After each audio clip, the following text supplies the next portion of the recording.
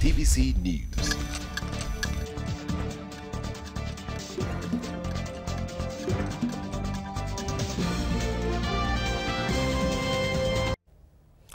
It's quite common to see people with disabilities beg for alms in many parts of Nigeria.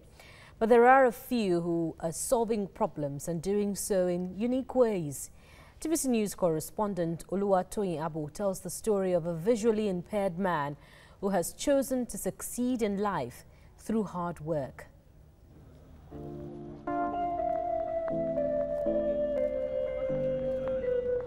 In many parts of Nigeria, when individuals are deformed in any way, they are tagged beggars before they even think of going to the streets. Indeed, some able-bodied persons for one deformity or another just to get people's attention and sympathy. This is because many lazy people have come to see begging as a good means of fighting poverty and reducing hardship. Surprisingly, there are still people, though living with disabilities, who have bluntly refused to hit the street to beg.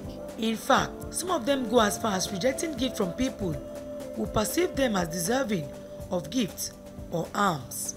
One of such people that look beyond their disabilities is Babatunde Obalereko. He is visually impaired. While some boys of his age sit in debt begging for alms, Babatunde sits in the comfort of his father's living room repairing electronic gadgets like computers, telephones, and radio sets. Alhaji Obalereko is Babatunde's father. He explained to TVC News that Babatunde was not born blind, but he lost his sight while writing an examination in junior secondary school.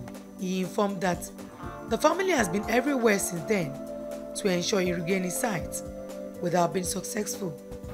His mother met me and told me that uh, he said he wanted to go and uh, read. He to go to blind uh, people's. I was shocked because uh, even if we have it in mind, we can't put it up to him. But while he was uh, in the school, he repairs uh, laptop, handset, all sorts of things. I too, I was amazing. All this micro something that uh, some people with eye self, they use, uh, I mean, uh, glasses to support themselves. But God gave him this talent, well, just either by hearing the sound or feeling this thing. It started from radio. We don't repair things outside. If anything happens at home, we are looking for uh, mean, technician. Before we come back, he has done it. So, how did Babatunde acquire the skills to repair these electronic gadgets? My engineer is not by it's just talent, it's by talent, it's not by skill. It's not what I acquired. I practice with our personal electronics at home. That's what I started with.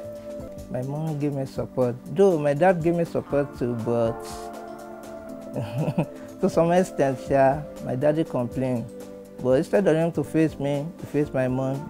Dr. David Akeju is a lecturer at the University of Lagos and one of Babatunde's clients. He recalled how they met and how he expertly fixed his faulty computer. I couldn't boot the laptop for days. I gave it to somebody on campus here.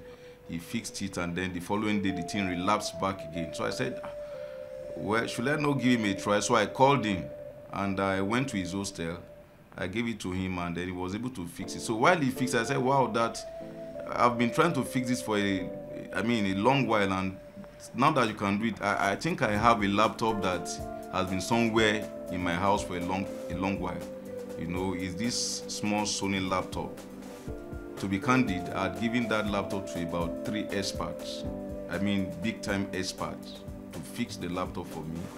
They tried all they could do. What was wrong? Couldn't boot the laptop. They said there is password, something. Okay, format it and let, let me be able to use it. They said they couldn't get to do it. So when he fixed that my laptop, so I said, well, when I get home, I will bring the laptop for him. It was something amazing. The guy fixed that laptop within 24 hours. Babatunde explained that he never saw begging for alms as an option. So, he went out of his way to seek admission into the University of Lagos. I'm afraid I'm. I don't, I don't like it. Maybe because of my level of education, uh, my level of exposure, maybe that's what caused. Because I'm not born like this. That's just it. Mostly those people, maybe because they are born blind those stuff, they don't know, they don't believe that they can go to school or those stuff. Maybe that's the issue. Or issue of money, I can't say. Babatunde's siblings told Television Continental that since he lost his sight, he has not been a liability to them, adding that he is in fact more industrious than many able-bodied men. Didn't disturb anybody. He's doing his own. He's work. He's washing his clothes himself, doing everything himself. It's not a burden us. Yeah, there's nothing we can do. We need to cooperate and give him assistance.